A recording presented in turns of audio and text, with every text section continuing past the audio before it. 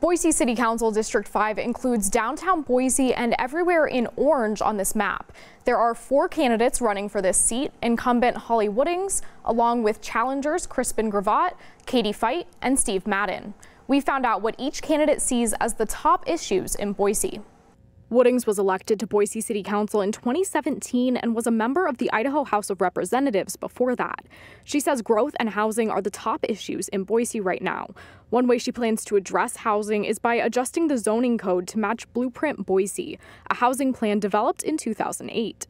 We need to take everything that we developed in Blueprint Boise, which was a very um, citizen involved process of just kind of envisioning what our neighborhoods are going to look like into the future, and we need to put that into city code as our zoning code ordinance. Woodings also wants to address homelessness by creating a housing first program like New Path, but for families.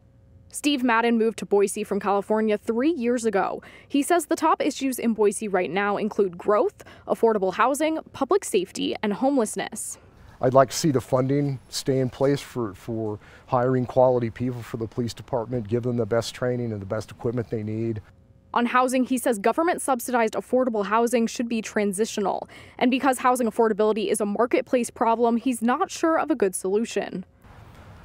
I, I don't want government to step in and rent control that and take the, the, the value opportunity away from the landowner, for the property owner. Uh, I'm just not in favor of that. Crispin Gravatt grew up in Boise. He's the chair of the Public Works Commission and is a renter. He says the top issues in Boise right now are climate change and affordability. I think that our zoning code rewrite presents an incredible opportunity for us to sort of build our neighborhoods and build our buildings in a way that mitigates our impact on our natural environment. On housing, Gravatt says there's two parts to housing affordability housing stock and wages. And we need to make sure that our small local businesses that bring such vitality to our community are able to keep up with rising costs of labor, that they're able to pay their employees fairly so that their employees can live and enjoy the neighborhoods around where they work. Katie Fite has nearly a decade of experience working for Idaho Fish and Game and various environmental groups. She says the top issues in Boise right now include housing affordability, city actions related to parks and public land, and transparency and communication.